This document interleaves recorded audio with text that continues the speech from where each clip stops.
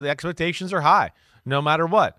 And then McDermott, we can, you know, we know he's a great defensive coach too. So uh, we don't expect that defense to fall off, right? But he's going to yeah. run the defense this year. Though. I know. Yeah. Leslie Frazier was a scapegoat. Yeah. He's the guy that got thrown overboard in a very clumsy, and artful way that they made us think he's walking away on his own. Right. And as time goes by, it's like it's not really because kind of he's a, looking for another job, kind of a- right? yeah.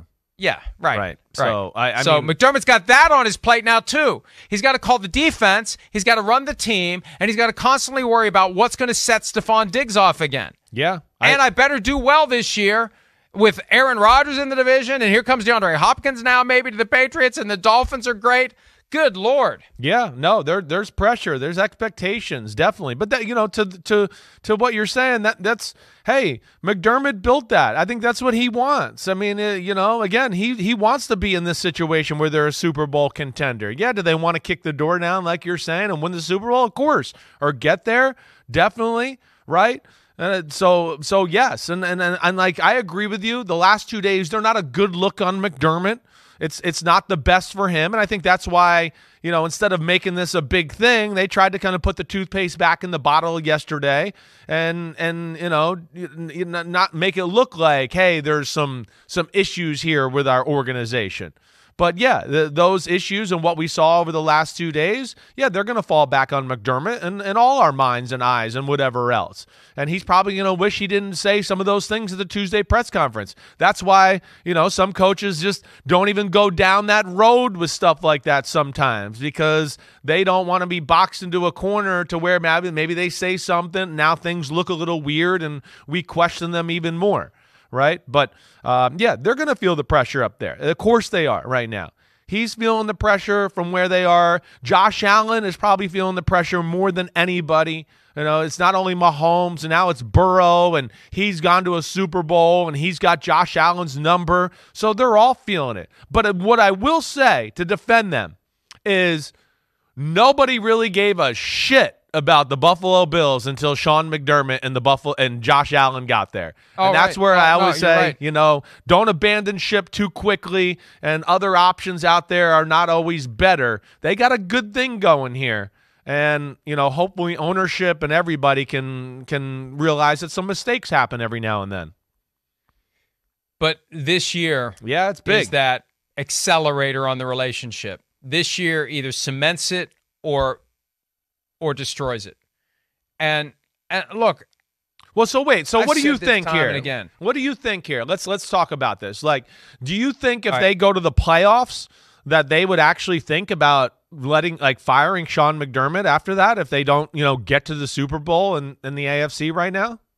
Well, let me start with the possibility they don't make the playoffs at all. Okay. Because I still believe there's a good chance that only one team is getting out of the AFC East when you consider they all play the four teams of the NFC West. They all play the four teams of the NFC East. That's eight games on a 17 game schedule. And they have the round robin home and home in their division. That's six more games. Yeah. I mean, hell, that's 14 out of 17 14 games tough ones. against pretty good competition and you're going to be compared if you don't win the division with teams from other divisions that haven't had that same experience. Sure. So it's going to be harder for the second place team to get in. So if the Dolphins win the division and the Bills don't make the playoffs, Chris, okay, let's just start there. Bills fail to make the playoffs, it's done for McDermott. It's done. It's over. It's kaput. I believe. Now they get to the playoffs. Playoffs. Let's say they they they lose in the wild card round. I'd say pretty good chance it's time for a change in Buffalo. The real question is if they get to the divisional round again. Three straight years, divisional round. Three straight years, don't get past the divisional round.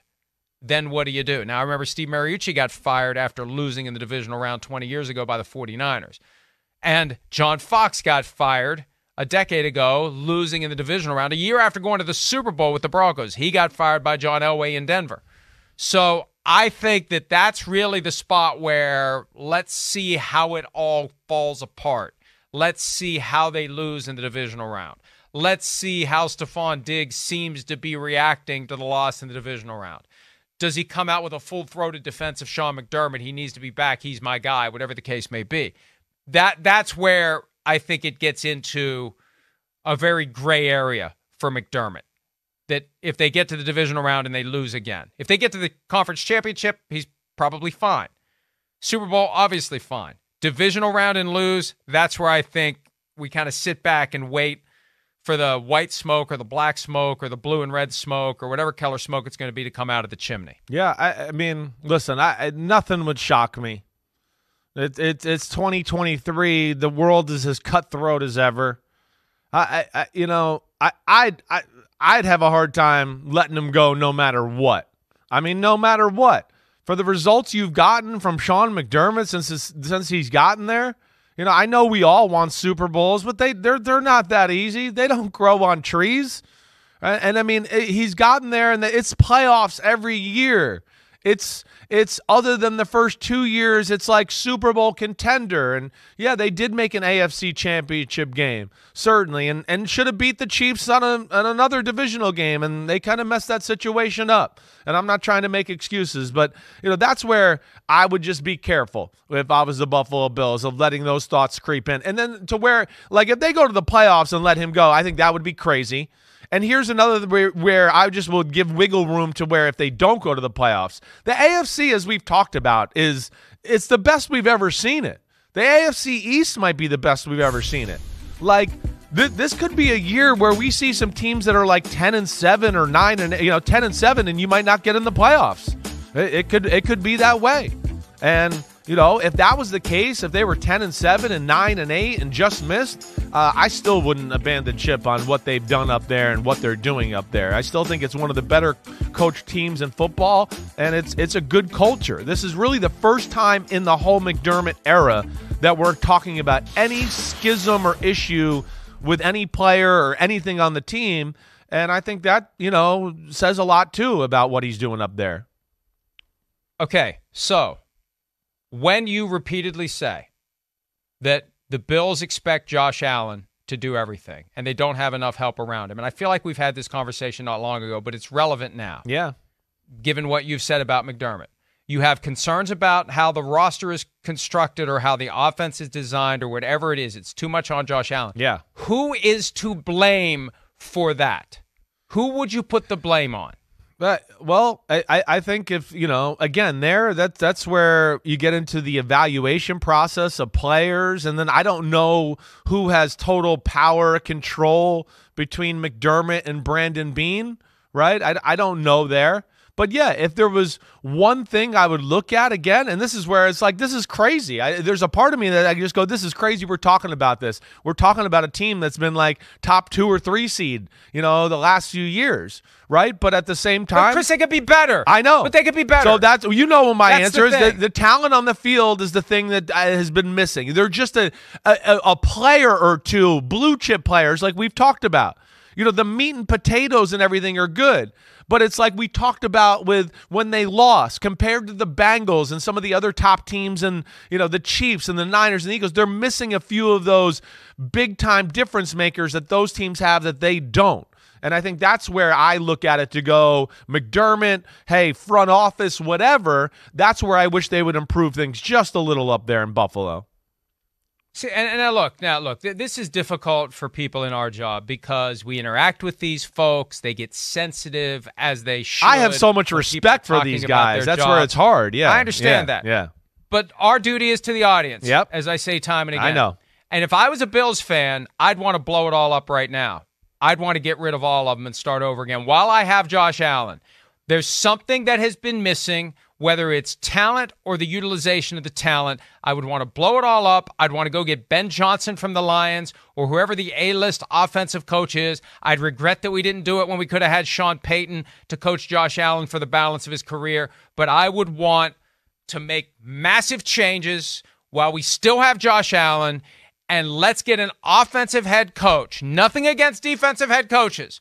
I would want for Josh Allen, a guy who when we figure out how to properly use him, I don't have to worry about him becoming the head coach of the Giants. I've still got him. He's not leaving. He's going to be joined at the hip with Josh Allen for the balance of his career. And we're going to do everything we have to do to fulfill our obligation to the fans that we've gotten this guy who's one of the best quarterbacks in football.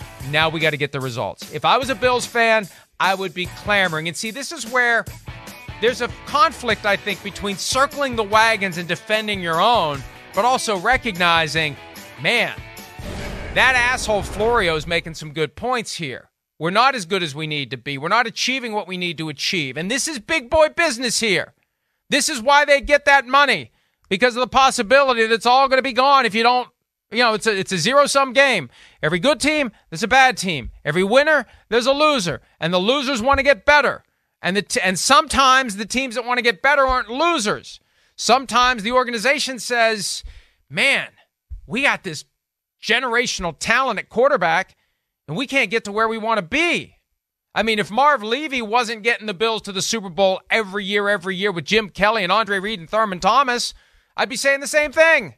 What the hell's going on here? You got this great offensive talent, you can't get to the Super Bowl? They could, four straight years, which is one of the most impressive accomplishments in NFL history to keep going back to the Super Bowl, even though you keep get, getting beat every year there. But but yeah, you've got and, and they don't even have anything close to what the Bills of the 90s had, but they have Josh Allen. Where is your Thurman Thomas? You've got your Andre Reed. Where's your Thurman Thomas? Right? That's one of the things we just, we just kind of numb to it that they don't have. And maybe they do in James Cook. I don't know. Maybe he's going to become that. So, Chris, that's my point. Yes, they've been better than they were in the 20 years between the tail end of the K gun offense era and getting Josh Allen because it was a long, empty, woeful road for the Bills. But again, this is the whole just good enough or do you want to be great? Is it enough to be in the playoffs every year? If it is, fine. But if I'm a Bills fan, I'm saying, man, how many more years does Josh have left? 10? How many years does he have left when he can play like he's currently playing now? Five? We got some work to do to get to where we want to be. And either the guys who we currently have on the payroll are going to get the work done now, or we got to be thinking about other people. You know what? It's that simple. I you know I, I know, but but I would say that that's where I just say be careful of that. That's what that's what I would say. You know, like you said, you know, after Marv Levy, they fell into who the hell are the Buffalo Bills for like 25 years. Oh, they still play football. That's what I just said. I know. I know. I know. I'm, I'm, agreeing with you there. That's where I just, you know, I know we're all want Super Bowls and all that. And yeah, you know, hey, listen, that Bills team, that was a special orchestrated team.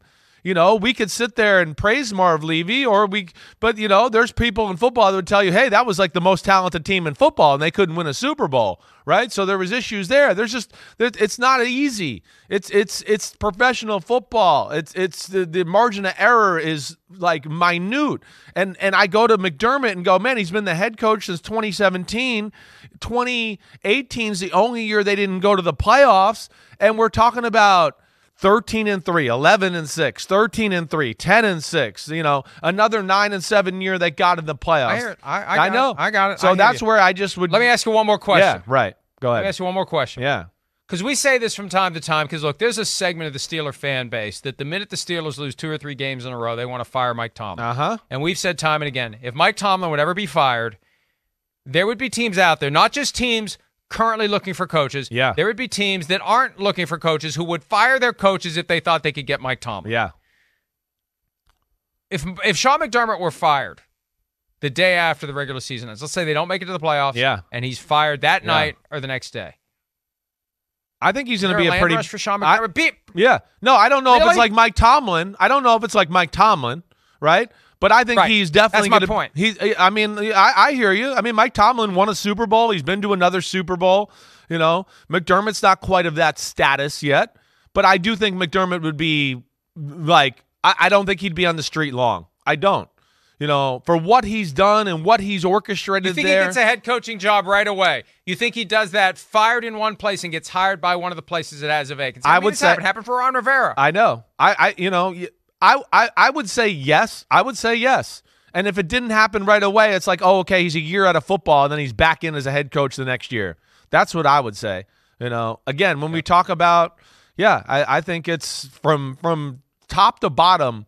There's a lot of good of what McDermott has has done and, and done for that football team. It's just they haven't won the Super and Bowl yet. Look, and I, and I apologize, Sean. We're focusing on you because you're the one that that got sent out there with this clumsy, ill-advised message yesterday to act like everything's fine and there was no big deal and what's everybody looking at? You know, um, the front office is an issue too. And and and again, I'm not I don't have any animosity toward Brandon Beane. I've interviewed him in the past. I have a feeling I'm not going to be interviewing him anytime soon. But to your point, it's a talent issue around the quarterback. If anyone's to blame between coaching staff and front office, right now the blame would be on the front office for not putting enough around Josh Allen. Period. Full stop. But McDermott has kind of edged into the spotlight now with this whole Diggs thing over the past couple Sure, of days. sure. So so you know, it I, I like it when the GM and the head coach are are joined at the hip like the coach and the quarterback should be. Right. Because you don't want a scenario where the coach is blaming the GM and the GM is blaming the head coach. But if we're going to apportion blame, I would have said before Tuesday, Wednesday, the bulk of it goes with the front office. But now McDermott is creeping into the spotlight of scrutiny that is going to make this year make or break for him in in many respects for him and for the front office. It could be just clean sweep when this year's over. Yeah, I, again, I, I hope not. I hope not. You know, for, for what they're doing, but but I, I hear your point, and I know, and and to your point, th- this for sure is the most pressurized year for the Buffalo Bills organization. We had expectations other years, but yeah, this is more of like, whoa, the division, the conference, we expect you, you're in a window, is it closing? And now you got a little issue with a player and all that, where I would certainly say the spotlight's going to be on them, you know, more organizationally wise as far as coaches and front office than than in recent history, that's for sure. Hi, it's Mike Florio. Thanks for watching PFT on YouTube. Hit subscribe for the latest news and analysis from Pro Football Talk.